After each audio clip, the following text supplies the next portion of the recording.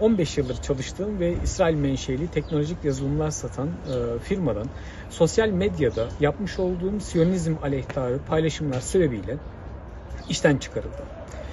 E, şirketten aslına bakarsanız daha önceden daha önce de bu konularda uyarılmıştım. 2010 yılında Mavi Marmara olaylarıyla e, ilk kez sosyal medyada paylaşım yaptığımda şirket yönetim kurulunun bir üyesinin oğlu tarafından tartışma yaşandık ve kendisinin uyarısıyla o paylaşımı kaldırmamı söylediler. Ona isnaden paylaşımı kaldırmıştım. E, ardından 2021 yılında Muhammed Murra isimli 12 yaşındaki bir çocuğun e, İsrail Siyonist İsrail askerleri tarafından e, şehit edilmesiyle ilgili bir video paylaşmıştım. E, akabinde genel müdürümüz beni aradı ve İsrail aleyhtarı bu paylaşımı nasıl ve niçin yaptığımı hiddetli biçimde sordu ve bu paylaşımı kaldırmamı istedi.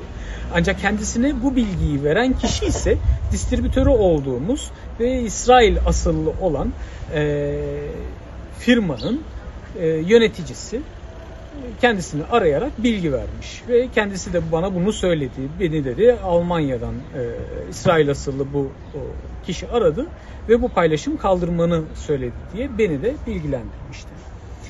E, daha sonra bu İsrail asıllı ve Alman vatandaşı olan e, şahıs e, 2022 yılında Beylikdüzü'nde katıldığımız bir fuarda e, ilk kez kendisiyle tanışmıştım. Ve bu fuarda e, sosyal medya paylaşımlarını takip ediyorum. Gözlerim üzerinde şeklinde aynen böyle parmağını da sallayarak e, beni bir kez daha uyarmıştı. Daha sonra 7 Ekim tarihi sonrasında başlayan Siyonistlerin Gazze şehrinde yaptığı katliamlarla birlikte ben yeniden paylaşım yapma ihtiyacı hissetmiştim. Ve bu paylaşımların hemen ilk ilkinin e, yapmamın ardından e, iki gün sonrasında insan kaynakları tarafından arandım ve e, artık özelliklerime uygun bir işin şirkette bulunmadığı iddiasıyla işten çıkarıldım. Benimle birlikte aynı paylaşımları yapan Esat Aykut isimli arkadaşım yine aynı sebeple işten çıkarıldı. Ve e, buna istinaden ben bir hukuki süreç başlattım. Şu anda İstanbul 29. İş Mahkemesi'nde e, bu hukuki süreç devam ediyor.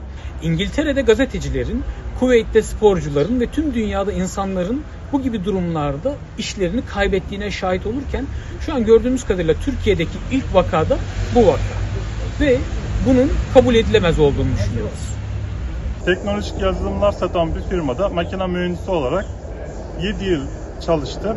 E, bu firmada İsrail aleyhine yaz, yorumlar yazma sosyal medyadan ne tepkiler geliyordu.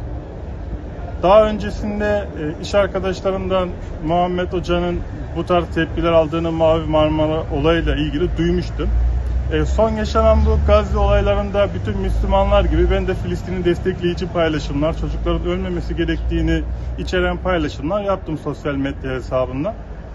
Tabii bununla ilgili sürekli e, geri bildirimler aldım. İş arkadaşlarım olsun, farklı insanlar olsun.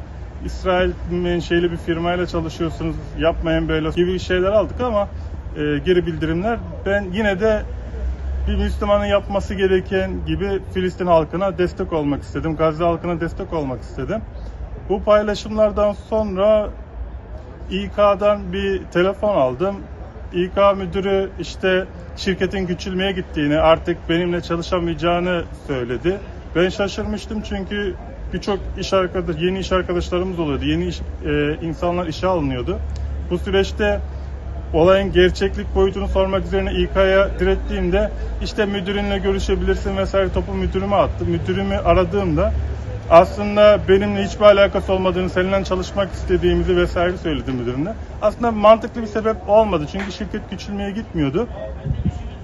Ben de yakın arkadaşlarımı aramaya başladım. Böyle böyle sizin de var mı bir sorun, sizi de işten çıkarıyorlar mı gibisine. Ee, Muhammed Hoca'nı da çıkarınca şok oldum. Dedim, Aa, seninle ortak yönümüz bu Filistin'i destekleyici paylaşımlardı. Zaten diğer arkadaşlarımız genellikle bu tarz paylaşımlar yapmıyordu. Çünkü İsrail menşeli bir programda e, bu paylaşımlar yapınca başlarının ağrıyabileceğini vesaire düşünüyorlardı. E, paylaşımlar yaptıktan sonra işten çıkarıldık.